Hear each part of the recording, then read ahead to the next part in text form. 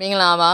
ဒီကနေ့သင်ကြားမယ့်သင်ခန်းစာကတော့ Grade 9အထမတန်းထွေထွေသိပ္ပံဘာသာမှာအခန်းလေးစွမ်းအင်ခေါင်းစဉ်ကြီးရဲ့ခါခွေခေါင်းစဉ်ဖြစ်တဲ့အလင်းအကြောင်းပဲဖြစ်တယ်အဲ့ဒီအလင်းရဲ့နံပါတ်ခွဲလေးဖြစ်တဲ့နံပါတ်3ကင်မရာနဲ့မျက်မှန်အကြောင်းဖြစ်ပါတယ်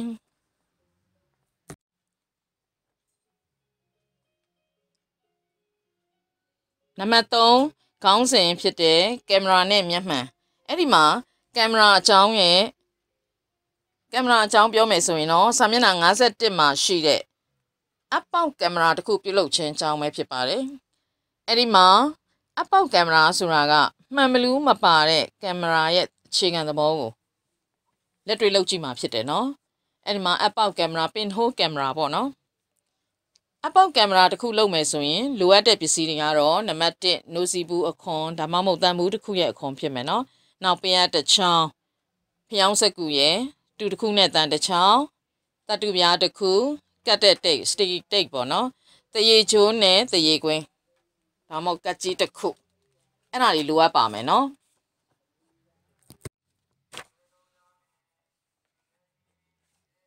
ပြုလုပ်ပုံကတော့စာမျက်နှာ52ကိုကြည့်မယ်နော် တူနဲ့တန်ကိုအသုံးပြုပြီးတော့တန်မှုအောက်ခြေမှာအပေါက်ငယ်တစ်ပေါက်ဖောက်မယ်နော်တတုပြားကိုစဝိုင်းပုံတံဖြတ်မယ်ပြီးရင်ခွဲရဲ့အောက်ခြေမှာတတုပြားကို ခိုင်မြဲအောင်တိတ်နဲ့ကတ်မယ်တတုပြားကို ပင်အဖောက်မယ်ဖောက်ထားတဲ့အပေါက်ဟာမူလဖောက်ထားတဲ့အပေါက်နဲ့တဒန်းနဲ့ရှိနေရမယ်နော်တန်ဘူးရဲ့ပွင့်နေတဲ့ဘက်မှာဖျောင်းဆက်ကူကိုမျက်နှာပြင်ညီအောင်ဖြန့်ပြီးတော့တင်းကျပ်စွာဖုံးအောင်မယ် အဲ့ဒီဖျောင်းဆက်ကိုမရွေးအောင်တရေခွင်းနဲ့ရစ်ပတ်ထားမယ်နော်ပြီးရင်အဲ့ဒီပုံစံဟာပိတ်ကားပုံဖြစ်လာမှာပြီးလို့ရှင်အခန်းကိုအမှောင်ချထားလိုက်မယ်နော်ပြီးရင်ပုံနံပါတ်၄နှစ်ရှစ်ကိုကြည့်လိုက်နော်အဲ့ဒီမှာပင်ရဖောက်ထားတဲ့ပေါက်ကိုပြတင်းပေါက်ဘက်ကိုလှည့်ပြီးတော့ဖျောင်းစက်ကိုအုပ်ထားတဲ့ဘက်ကိုမိမိဘက်တကယ်တော့ကိုယ့်ဘက်ပေါ့နော်ကိုယ့်ဘက်လှည့်ထားမယ် ဖျောင်းစက်ကူပေါ်မှာရုပ်ပုံဟာအထက်အောက်ပြောင်းပြန်ဖြစ်နေတာကိုတွေ့ရမယ်နော်အဲ့ဒီမှာကင်မရာတစ်လုံးဟာအဲ့လိုပုံစံလိုပဲအလုံးလုံးတယ်ဒါပေမဲ့ကင်မရာမှာအပေါက်နေရာမှာမှန်ဘလူးကိုအသုံးပြုပြီးတော့ဖျောင်းစက်ကူနေရာမှာဖလင်ကိုအသုံးပြုလာခြင်းဖြစ်တယ်နော်အဲ့ဒါပုံနံပါတ်428ကိုကြည့်တွေ့ရလိမ့်မယ်နော်စာမျက်နှာ53မှာနော် ပုံနံပါတ်429အဲ့ဒီမှာကင်မရာပုံတွေအများကြီးတွေ့ရလိမ့်မယ်နော်အဲ့ဒီမှာအိတ်ဆောင်ကင်မရာရိုးရိုးကင်မရာရုပ်ရှင်ကင်မရာဟုတ်လားခုရိုင်းခုယူကင်မရာအဲ့ဒါတွေတွေ့ရလိမ့်မယ်နော်ကင်မရာကင်မရာဆိုတာဘာလဲဆိုရင်ရုပ်ပုံတွေရိုက်ယူတဲ့ကရိယာကိုကင်မရာလို့ခေါ်တယ်ဟုတ်တယ်နော်ပုံမှာတာမန်ကင်မရာတစ်ခုဟာအလင်းရောင်လုံးဝမဝင်တဲ့တစ်တာတစ်လုံးဖြစ်ပြီးတော့အဲ့ဒီတစ်တာရဲ့အတွင်းတစ်ဖက်မှာ မှန်ဘလူးခုံးတစ်ခုပါရှိပြီးတော့ကြံမြင်တဲ့ချင်းဆိုင်တစ်ဖက်မှာဖလင်ပါဝင်တယ်ဟုတ်ပြီနော်မှန်ဘလူးခုံးဟာပြင်ပမှာရှိတဲ့အရာဝတ္ထုတွေရဲ့ဝတ္ထုအရွယ်ထက်ငယ်တဲ့ပြောင်းပြန်ပုံရိပ်စစ်ကိုဖြစ်ပေါ်စေတယ်အဲ့ဒီဂုံတက်တီကိုပဲယူပြီးတော့ကင်မရာမှာအသုံးပြုတယ်ကင်မရာတစ်လုံးမှာအဖုံးကာဘာမှန်ဘလူးခုံးဖလင်ဖလင်ရစ်လုံးအလင်းတကားစုစုံကွင်း အလင်းဝင်ပေါင်းနဲ့အလင်းချိန်ပေါက်တို့ပါဝင်တယ်ဟုတ်ပြီနော်ဒီတစ်ခါတော့ကင်မရာတစ်လုံးတိစောက်ထားပုံကိုရှင်းမယ်နော်စာမျက်နှာ54မှာရှိတဲ့ပုံနံပါတ်430ကိုကြည့်မယ်အဲ့မှာကင်မရာတစ်လုံးတိစောက်ထားပုံကိုဖော်ပြရှင်းပြထားတာရှိတယ်နော်အဲ့မှာကြည့်လိုက်ပါပုံ54မှာရှိတဲ့ပုံကိုကြည့်မယ်ဆိုလို့ရှိရင်မှန်ဘလူးကိုဖုံမတင်ဘိုးနဲ့ ဖုံမတင်ရန်ပေါ့နော်မတော်တဆထိခိုက်မှုကအဲ့ဒါတွေကနေကာကွယ်ဖို့အတွက်မှန်ဘလူးရှေ့မှာအဖုံးကာပါနဲ့ဖုံးထားတယ်တွေ့တယ်နော်ရှေ့ဆုံးမှာအဖုံးကာပါအဖုံးရဲ့နောက်မှာမှန်ဘလူးကုန်းတစ်ခုကိုတက်ဆင်ထားတယ်အဲ့ဒီမှန်ဘလူးခုံးလေးကိုဖုံမတင်ရန်ရဲ့မတော်တဆထိခိုက်မှုမှာကာကွယ်ဖို့အတွက်မှန်ဘလူးရဲ့ရှေ့မှာအဖုံးကာပါကိုထားရတယ်သူ့ရဲ့နောက်မှာပါရှိလဲမှန်ဘလူးကုန်းရှိတယ်ကဲဆက်ပြောမယ်နော်အဲ့ဒီမှန်ဘလူးခုံးဟာ အရာဝတ္ထုတစ်ခုကနေပြီးတော့အလင်းကိုဖလင်ပေါ်မှာဆုပ်ဆုပ်ပေးတယ်အဲ့ဒီမှန်ဘလူးခုံးကိုအလင်းဖြတ်တန်းပြီးတော့ဖလင်ပေါ်မှာဆုပ်ဆုပ်ပေးတယ်ဒါကဘသူရဲ့လုပ်ငန်းလဲဆိုတော့မှန်ဘလူးရဲ့တာဝန်ပေါ့သူ့ရဲ့တာဝန်လုပ်ငန်းဆောင်တာပေါ့နော်နောက်ကင်မရာရဲ့နောက်မှာရှိတဲ့ဖလင်အားကြတော့ပုံရိပ်ကိုလက်ခံပေးတယ်ပုံဖန်းကားချက်တစ်ခုဖြစ်တယ်နော်သူကတကယ်တမ်းကြတော့ဖလင်ဆိုတာက ပလတ်စတစ်ပြားအရှည်တစ်ခုကိုလိတ်ထားတဲ့အရာဖြစ်တယ်နော်ဖလင်မှာပါလွှာတဲ့ငွေဓာတုဒရပ်ပေါင်းအလွှာတစ်ခုပါဝင်တယ်ပြန်ပြောမယ်နော်ကင်မရာကြီးနောက်မှာဘာရှိလဲဖလင်ရှိတယ်အဲ့ဒီဖလင်ကဘာလုပ်ပေးလဲဆိုတော့ပုံရိပ်ကိုလက်ခံပေးတဲ့ပုံဖန်းကားချက်တစ်ခုဖြစ်တယ်နော်ဖလင်ဆိုတာပလတ်စတစ်ပြားအရှည်တစ်ခုကိုလိတ်ထားတဲ့ຢာဖြစ်တယ်ဖလင်မှာပါလွှာတဲ့ငွေဓာတုဒရပ်ပေါင်းအလွှာတစ်ခုပါဝင်တယ် အဲ့ဒီမှာအလင်းစွမ်းရဖလင်မော်ကြတဲ့ခါမှာဓာတုတုံ့ပြန်မှုဖြစ်ပေါ်တယ်ပြန်ပြောမယ်အလင်းစွမ်းရင်ဟာဖလင်မော်ကြားရောက်တဲ့ခါမှာဓာတုတုံ့ပြန်မှုဖြစ်ပေါ်တယ်ရန်လက်တစ်ခုအနေနဲ့ဝတ္ထုတစ်ခုရဲ့အရာဝတ္ထုတစ်ခုရဲ့ပုံရိပ်ကို ဖလင်မှာပေါ်လာစေတယ်ဟုတ်ပြီနော်ဖလင်ကြားရောက်တဲ့အလင်းစွမ်းရင်ပမာဏကိုထိမ့်ပေးဖို့အတွက်မှန်ဘလူးရဲ့နောက်မှာအလင်းချိန်ပေါက်တစ်ခုကိုထားရှိတယ်။ဘာကိုထားရှိလဲ အလင်းချိန်ပေါက်တစ်ခုကိုထားရှိတယ်။အရာဝတ္ထုရဲ့အလင်းအားများနေရင်အလင်းချိန်ပေါက်ကိုကျင်းပေးပြီးတော့အလင်းနည်းနေရင်အလင်းချိန်ပေါက်ကိုကျဲပေးရတယ်။ဒါအပြင်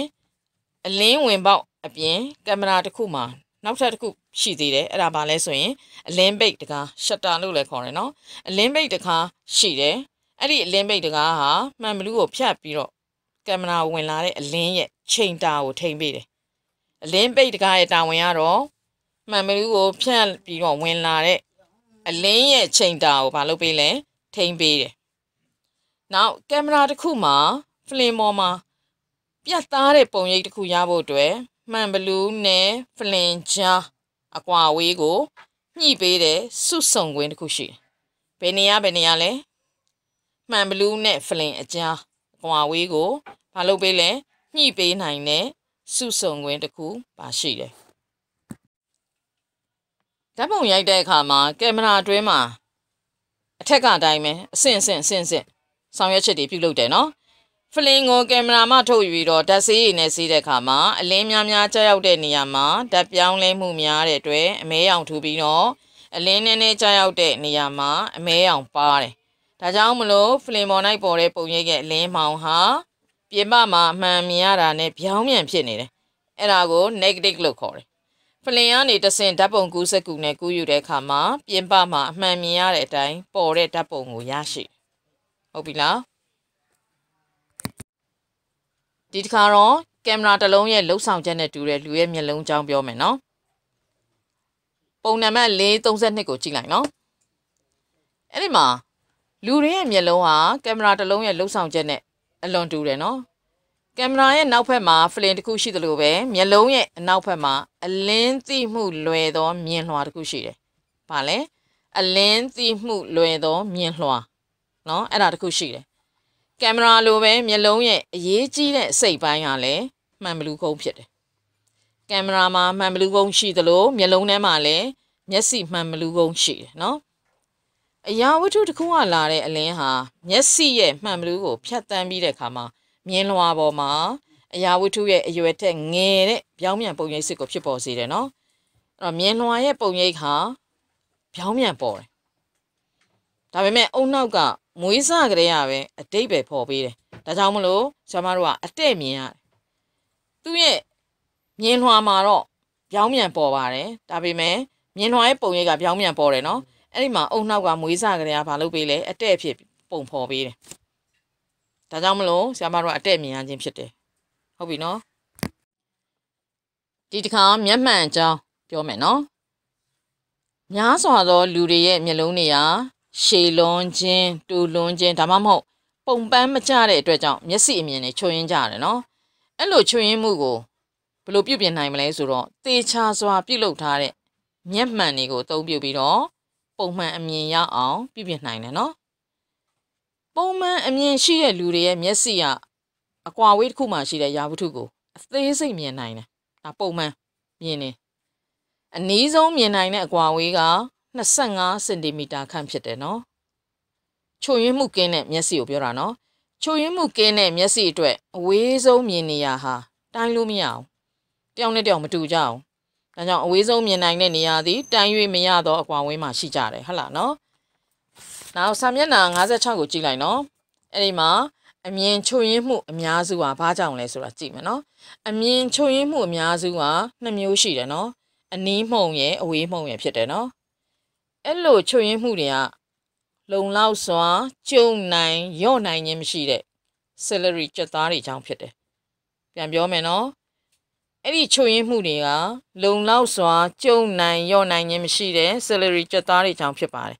ဒါမှမဟုတ်ပုံပြက်နေတဲ့မျက်လုံးတွေကြောင့်ဖြစ်တယ်ဟုတ်ပြီလားဒီတစ်ခါတော့စာမျက်နှာ56မှာရှိတဲ့အနီးမုံမျက်စိအကြောင်းပြောမယ်နော်အဲ့ဒီမှာ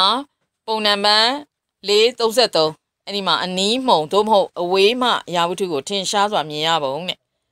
သူကအနီးမုံနေတဲ့စာတွေမမြင်ရဘူးဟိုးဝေးရတစ်ပင်ကိုတော့ကောင်းကောင်းထင်ရှားစွာမြင်ရတယ်အဲ့ဒါအနီးမုံမျက်စိတဲ့ကဲစာတော့ရှင်းပြမယ်နော်အနီးမုံသို့မဟုတ်အဝေးမြင်သူသူကအဝေးမှာရှိတဲ့ရာဝတ္ထုတွေကိုပြတ်သားစွာမြင်နိုင်တယ်ဒါပေမဲ့အနီးနားမှာရှိတဲ့ရာဝတ္ထုတွေကပြတ်သားစွာမမြင်နိုင်ဘူးအဲ့လိုမျက်စိမျိုးကိုအနီးမုံမျက်စိလို့ခေါ်တယ်ဟုတ်ပြီနော်အနီးမုံညံကဘာလဲဆိုတော့အနီးမှာရှိတဲ့အရာဝတ္ထုကလာတယ် အလင်းနှန်းတွေဟာမျက်စိမှန်ဘလူးကိုဖြတ်ပြီးတဲ့အခါမှာမြင်းလွှာပေါ်မှာမကြရအောင်မြင်းလွှာရဲ့အနောက်ဘက်အမှတ်တနေရာမှာသွားပြီးတော့စုံတယ်ပုံကမှာဆိုလို့ရှိရင်လေကြည့်လိုက်ပါသူချွင်ရင်းချက်ကိုပြထားတယ်နော်ပုံကမှာတိုးလုံးသောမျက်လုံးဒါမှမဟုတ်လုံလောက်အောင်မခုံးနိုင်တဲ့မျက်စိမှန်ဘလူးကိုမျက်စိမှန်ဘလူးကြောင့်ဖြစ်တယ်နော်အဲ့ဒီချုံရင်မှုတွေကိုပုံခဝေးမှာဘာနဲ့ပြန်ပြုတ်ပြင်ထားလဲဆိုတော့ မှန်ဘလူးခုံးပါတယ်မျက်မှန်တွေကိုအသုံးပြုခြင်းနဲ့အနီးမှုံကိုပြုတ်ပြင်နိုင်ပါတယ်အနီးမှုံရင်ဘာနဲ့ပြုတ်ပြင်မလဲမှန်ဘလူးကုန်းပါတယ်မျက်မှန်နဲ့အသုံးပြုခြင်းနဲ့ပြုတ်ပြင်မယ်ဟုတ်ပြီနော်ဒီတစ်ခါတော့ဝေးမုံမျက်စိအကြောင်းပြောမယ်နော်ပုံနံပါတ်435ကိုကြည့်ပါအဲ့ဒီမှာအဝေးမုံသို့မဟုတ်အနီးမှရာဝတ္ထုကိုထင်ရှားစွာမြင်ရပုံနဲ့အဲ့ဒီပုံလေးကိုကြည့်လိုက်မယ်နော်အနီးမှာရှိတဲ့ စောက်ထဲကစလုံးတွေကိုတော့ထင်ထင်ရှားရှားပြက်ပြက်သားသားမြင်ရပြီးတော့ဟိုးဝေးမှာရှိတဲ့တစ်ပင်ကိုတော့မှုံဝါးဝါတွေ့ရတယ်နော်အဲ့ဒါကတော့တဲ့အဝေးမှုံသို့မဟုတ်နင်းမြင်သူတူဟာတဲ့အနီးနားမှာရှိတဲ့ရာဝတ္ထုကိုပြတ်သားစွာမြင်နိုင်တော့လဲပဲတဲ့အဝေးမှာရှိတဲ့ရာဝတ္ထုတွေကိုပြတ်သားစွာမမြင်နိုင်ရင်အဲ့ဒီမျက်စိမျိုးကိုဝေးမုံမျက်စိလို့ခေါ်တယ်နော်အဝေးမုံရခြင်းကတော့ပုံနံပါတ်436အဲ့မှာကြည့်လိုက်နော် အဝေးမုံရခြင်းကအဝေးမှာရှိတဲ့ရာဝတ္ထုရလာတဲ့အလင်းနှန်းတွေကမျက်စိမှန်မလို့ကိုဖျက်ပြီးတဲ့အခါမှာမြင်လွာရှေ့မှာမြင်လွာရှေ့အမှတ်တနေရာမှာစုံရတယ်နော်ပုံကကြီးမှကြည့်လိုက်နော်ရှေလွန်းတဲ့မျက်လုံးသို့မဟုတ်လိုအပ်သည့်ထက်ပိုပြီးတော့ခုံးနေတဲ့မျက်စိမှန်ဘလူးကြောင့်ဖြစ်တယ်အဲ့ဒါလိုချုံရင်မှုမျိုးကိုပုံခါဝဲကိုကြည့်လိုက်မှန်ဘလူးခွက်ပါတဲ့မျက်မှန်တွေအသုံးပြုပြီးတော့ပြုပြင်နိုင်တယ် အဝေးမုံမျက်စိဆိုရင်ဘယ်မှန်ဘလူးခွက်မှန်ဘလူးကိုသုံးမလဲဆိုရင်မှန်ဘလူးခွက်ကိုသုံးမယ်နော်မှန်ဘလူးခွက်မျက်မှန်နဲ့ပြန်ပြီးတော့ပြုပြင်နိုင်တယ်ဟုတ်ပြီလားဆောင်းမျက်နှာ58လေ့ကျင့်ရမေးခွန်းများကိုကြည့်မယ်နော်နံပါတ်1ပေးထားသောအဖြေများထဲမှအမှန်ကိုရွေးပါတဲ့အဲ့ဒီမှာပုတ်ခွဲလေးနံပါတ်1ကအဝေးရှိရာဝတ္ထုမှလာသောလင်းနှန်းတစ်ခုသည် မှန်ဘလူးကုန်းတစ်ခုကိုပုံပြပါတိုင်ဖြတ်ပြီးတဲ့အခါမှာ၎င်းလင်းနှန်းသည်တဲ့ကာကြီး AD ခါခွေး AC ကားငယ် AB ဖြစ်သည်တဲ့ပုံလေးဖတ်ဆောင်ထဲမှာတော့ပုံကြံခဲ့တဲ့အတွက်ပုံမရှိဘူးဒါပေမဲ့ဆရာမအဖြည့်ဆွဲပြီးတော့ပုံကိုဆွဲပေးထားပါတယ်အဲ့ဒါကြည့်လိုက်နော်အဲ့ဒီမှာလင်းနှန်းတစ်ခုကမှန်ဘလူးခုံးကိုဖြတ်တဲ့အခါမှာအလင်းနှန်း၃ခုသူထွက်သွားတယ်လို့ဖြတ်သွားတယ်လို့ပြထားတယ်နော်အဲ့ဒီမှာ AB AB ရဲ့နောက်တစ်ခုကဘာလဲဆိုရင် AC ရဲ့ AD ရဲ့ဘယ်ဟာမှန်မလဲကြည့်လိုက်ပါ မှန်ဘလူးကုန်းတွေကိုအလင်းဖြတ်တဲ့အခါမှာအလင်းနှန်းတွေကဘယ်ဘက်ကိုရိုင်သွားလဲအခြေဘက်ကိုရိုင်သွားတယ်နော်မှန်ပြီအဲ့တော့ဘ ਹੁ ဘက်ကိုရိုင်သွားတယ်ဒါကြောင့်မလို့ဘ ਹੁ ဖြတ်သွားတယ်ဘ ਹੁ မူလဝင်ရိုးကြောင်းပေါ်ဖြတ်သွားတဲ့မြင်းကသာလင်အမှန်ဖြစ်တဲ့အတွက်ထွက်လင်းနှန်းက AD ဖြစ်တယ်နော်ဒါကြောင့်မလို့အဖြေနံပါတ်ကကြီးဖြစ်တယ်နော်ကဲနောက်နံပါတ်2နှစ်ဖက်ခွက်မှန်ဘလူးတွေရဲ့ပုံတရံသည်တဲ့သုံးမြောက်ဖန်တုံးများဤ ကကြီးအခြေများကို အလဲဘ ਹੁ တို့ခါခွေအခြေများကို အပြင်ဘက်တို့ကားငယ်ထိပ်ဖြားကို အပြင်ဘက်တို့မျက်နှာမူထားတဲ့ကဲ့သို့ရှိသည်တဲ့ဒါဆိုရင်သုံးမြောက်ဖန်တုံးနေရဲ့သဘောကို ယူပြီးတော့ဖန်တီးထားတဲ့မှန်ဘလူးတွေမှာနှစ်ဖက်ခွက်ကမှန်ဘလူးတွေကအချေကအပြင်ဘက်မှာရှိတာလားဗဟိုဘက်မှာရှိတာလားအခြေတွေကအပြင်ဘက်ကို ရှိတာဟုတ်တယ်နော်ဒါကြောင့်မလို့အဖြေနံပါတ်ဘယ်လောက်ဖြစ်မလဲခါခွေဟုတ်ပြီလားကဲနံပါတ်3ကြည့်မယ်နံပါတ်3ကမှန်ဘလူးခုံးရဲ့ရှေ့ဝေးတဲ့နေရာ၌ရှိသောရာဝတ္ထုတစ်ခုဤပုံရိပ်သည်တဲ့ကာကြီးရာဝတ္ထုတဲ့ရာဝတ္ထုတဲ့အရွယ်ငယ်ပြီးတော့ပြောင်းပြန်ပေါ်သည်တဲ့ခါခွေးကအရာဝတ္ထုအရွယ်အတိုင်းအတဲ့ပေါ်သည်ကားငယ်ကအရာဝတ္ထုအရွယ်ထက်ကြီး၍ပြောင်းပြန်ပေါ်သည်တဲ့မှန်ဘလူးခုံးက ရှေ့မှာရှိတဲ့ဝေးတဲ့နေရာမှာရှိတဲ့ရာဝတ္ထုရဲ့ပုံရိပ်ကဘယ်မှာပေါ်လဲကားချက်ဖြူပေါ်မှာပေါ်တဲ့ပုံရိပ်ကဘယ်လိုပေါ်လဲအရာဝတ္ထုအရွယ်ထက်ငယ်ပြီးတော့ပြောင်းပြန်ပေါ်တယ်နော်ဒါကြောင့်မလို့အဖြေကနံပါတ်ကကြီးနောက်နံပါတ်၄ပုံမှန်အမြင်ရှိတဲ့လူတွေဟာအနည်းဆုံးမြင်နိုင်တဲ့အကွာအဝေးကဘယ်လောက်ရှိမလဲကာကြီးက25လက်မှခါဝေး25မီတာကားငယ်25စင်တီမီတာဘယ်ဟာဖြစ်ပါမလဲ 25စင်တီမီတာဒါကြောင့်မလို့ဖြေနံပါတ်ကားငယ်နောက်နံပါတ်5အဝေးရှိရာဝတ္ထုတစ်ခုမှလာတဲ့အလင်းနှန်းနေရတဲ့စုံတာ30စင်တီမီတာရှိမှန်ဘလူးကုန်းတစ်ခုကိုဖြတ်ပြီးတဲ့အခါမှာထင်ရှားပြတ်သားသော ပုံရိပ်စစ်တစ်ခုသည်တဲ့မှန်ဘလူး၏ခြားဘက်၌ကာကြီး9စင်တီမီတာခါခွေ10စင်တီမီတာကားငယ်20စင်တီမီတာအကွာမှာပေါ်တယ်တဲ့နော်မှန်ဘလူးကုန်း 10စင်တီမီတာစုံတာစုံတာ10စင်တီမီတာရှိတဲ့မှန်ဘလူးကုန်းတစ်ခုကိုဖြတ်ပြီးတဲ့ထင်ရှားပြတ်သားတဲ့ပုံရိပ်စစ်တစ်ခုဟာမှန်ဘလူးရဲ့အခြားဘက်မှာဘယ်လောက်ပေါ်မလဲစုံတာက30ဒါကြောင့်မလို့ဒီဘက်စုံတာမှာလည်းဘာဖြစ်မလဲ30ရှိမယ်ဒါကြောင့်မလို့ပုံရိပ်က30စင်တီမီတာမှာပေါ်မယ်ဒါကြောင့်မလို့အဖြေနံပါတ်ကခါခွေဟုတ်ပြီနော်စာမျက်နှာ58 နံပါတ်2အကြီးအောက်ပါတို့ကိုတူတူနဲ့လိုရင်းဖြည့်စုပါတဲ့နံပါတ်1ကအောက်ပါတို့ကိုအတိတ်ပဲတတ်မှတ်ပါမှန်ဘလူးစုံကျဲစုံတာဟုတ်ပြီနော်အဲ့တော့တူတူနဲ့လိုရင်းပဲဖြည့်မယ်ဆိုရင်မှန်ဘလူးမှန်ဘလူးဆိုတာဟာဘာလဲမှန်ဘလူးဆိုတာကလင်းနှန်းတွေကို ခွဲဖြာစေနိုင်သောသို့မဟုတ်စုဆုံစေနိုင်သောအလင်းမောက်ပစ္စည်းတစ်ခုဖြစ်တယ် မှန်ဘလူးတစ်ခုမှာအ ਨੇ ဆုံးကွေးသောမျက်နှာပြင်တစ်ဖက်ပါရှိတယ်ဟုတ်လားအဲ့ဒါကမှန်ဘလူးရဲ့အတိတ်ပဲနောက်စုံချက်စုံချက်ဆိုတာပါလဲစုံချက်ဆိုတာကအရာဝတ္ထုတစ်ခုမှလာတဲ့အလင်းနှန်းတွေဟာမှန်ဘလူးခုံဒါမှမဟုတ်မှန်ဘလူးခွက်ကိုဖြတ်ပြီးတဲ့အခါမှာအလင်းရိုင်ပြီးတဲ့နောက်မှာမူလဝင်ရိုးချောင်းပေါ်မှာရှိတဲ့အမှတ်တစ်ခုမှာစုံရတယ် အဲ့ဒီနေရာဟာမှန်မလူကုန်းသို့မဟုတ်မှန်မလူခွဲရဲ့မူလစုံချက် F အကြီးနော် focal point ဖြစ်တယ်နော်ကဲစုံတာစုံတာဆိုတာဘာလဲပေါ့စုံတာဆိုတာကမှန်ဘလူးခုံဒါမှမဟုတ်မှန်ဘလူးခွဲရဲ့ဘဟုအိုမှန်နဲ့မူလစုံချက် F တို့ရဲ့အကွာဝေးအဲ့ဒီအကွာဝေးကိုမှန်ဘလူးခုံသို့မဟုတ်မှန်ဘလူးခွဲရဲ့ စုံတာ F လို့ခေါ်တယ်နော်စုံချက်က focal point စုံတာက focal length ဖြစ်တယ်နော်နောက်နံပါတ်2အသေးလေးကတော့မှန်ဘလူးကိုအသုံးပြု၍ပြုလုပ်ထားသော လူသုံးပစ္စည်းများကိုတင်သိသမျှဖော်ပြပါတဲ့ကဲဘာတွေသိထားသလုံးမှန်ဘလူးကိုအသုံးပြု၍ပြုလုပ်ထားတဲ့လူသုံးပစ္စည်းတွေကိုပတ်ဝန်းကျင်မှာအများကြီးရှိတယ်နော်ကိုသိထားတာတွေကိုပြောလို့ရပါတယ်ကဲပြောမယ်မှန်ဘလူး အသုံးပြုထားတဲ့ပစ္စည်းတွေကတော့1ကင်မရာ2 projector 3မျက်မှန်4 microscope 5 telescope 6မြက်ကပ်မှန်9လက်ကင်ပါတယ်မြေပုံကြီးမှန်မလို့ဒါအပြင်သိသေးရင်ဆက်ပြောအောင်နော်ဆက်ပြီးတော့ဖြည့်ရှင်းပြလာပြောပြလို့ရသေးတယ်ဟုတ်လားနော် နောက်နံပါတ်3ကကင်မရာတစ်လုံးမှာပါဝင်တဲ့ပစ္စည်းတွေကိုဖော်ပြပါတဲ့အဲ့တော့သင်ခဲ့ပြီးပြီဖြစ်တယ်နော်ကင်မရာတစ်လုံးမှာပါဝင်တဲ့ပစ္စည်းတွေကဘာတွေပါသလဲအဲ့တော့ကိုကသင်ကြားပြီးပြီဖြစ်တဲ့အတွက်ပြောနိုင်ရမယ်နော်ကင်မရာအတွင်းထဲမှာကင်မရာပြင်ဘက်ပေါ့ကင်မရာတစ်လုံးရဲ့အစမှာအဖုံးကာပါ1ဖုံးကာပါ2မှန်ဘလူးခုံး3 flint 4 flint ရလုံး5အလင်းပိတ်တကား6အလင်းဝင်ပေါက် 9အလင်းချိန်ပေါက်10စုစုံကွင်းအဲ့ဒါတွေပါဝင်တယ်ရပါတယ်နော်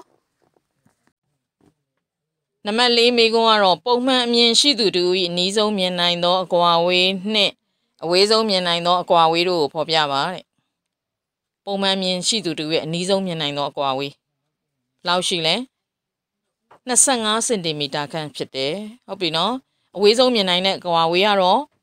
တိုင်းလို့မရအောင်ဒါကြောင့်မလို့အဝေးဆုံးမြင်နိုင်သောနေရာသည်တိုင်း၍မရသောအကွာဝေးတွင်ရှိသည်လို့ဖြေရမယ်နော်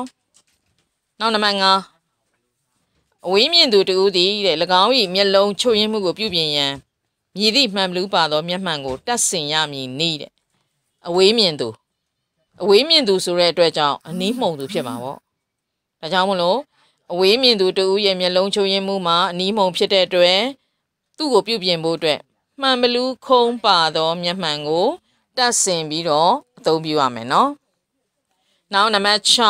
6အလင်းနှမ်းများသည်မှန်ဘလူးခွက်ကိုဖြတ်တန်းပြီးသောအခါမိကဲ့သို့ထွက်သွားကြသည်နည်းတဲ့မှန်ဘလူးခွက်နော်မှန်ဘလူးခွက်ကိုလင်းနှမ်းနေဖြတ်သွားဖြတ်တန်းပြီးတဲ့အခါမှာဘလို့ထွက်သွားကြမလဲတဲ့အဖြစ်အောင်အလင်းနှမ်းများသည်မှန်ဘလူးခွက်ကိုဖြတ်တန်းပြီးသောအခါခွဲဖြာ၍ပြန့်သွားကြသည်ဘလို့ထွက်သွားမလဲ ခွဲဖြာ၍ပြန့်သွားကြသည်နောက်နံပါတ်9မှန်ဘလူးကုန်းကိုဖြတ်တန်းသွားသောလင်းနှမ်းများထွက်လာတဲ့အခါမှာထွက်လင်းနှမ်းများတနေရာထဲမှာဘာကြောင့်ဆုဆုံသွားရသလဲတဲ့